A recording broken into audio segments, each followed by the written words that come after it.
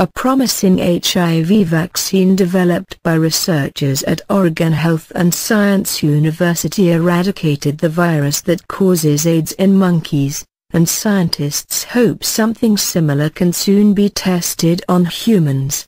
AIDS in non-human primates is caused by simian immunodeficiency virus, or SIV, which is similar to HIV but up to 100 times more deadly. BBC News reported. The research showed that half of the monkeys given the vaccine responded to it and were completely clear of SIV. The researchers created the vaccine from a modified version of a common virus called cytomegalovirus, CMV. They said it prompted the monkey's white blood cells to seek out and destroy the SIV-infected cells.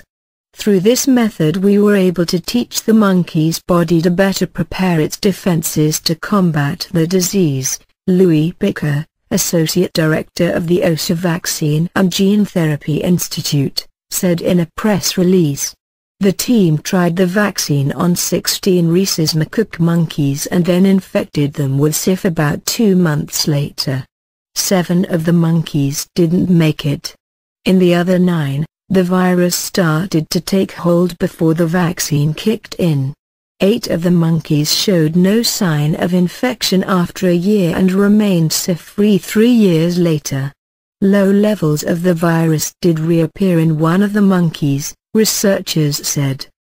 The team then injected blood and lymph cells from the eight apparently cured rhesus macaques into other monkeys. They said none of those monkeys became infected, Researchers are now investigating why the vaccine only worked on a portion of the monkeys. They also want to see if it will be effective in humans.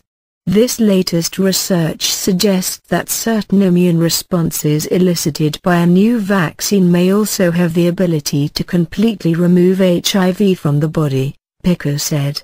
The results were published online by the journal Nature and will later appear in print.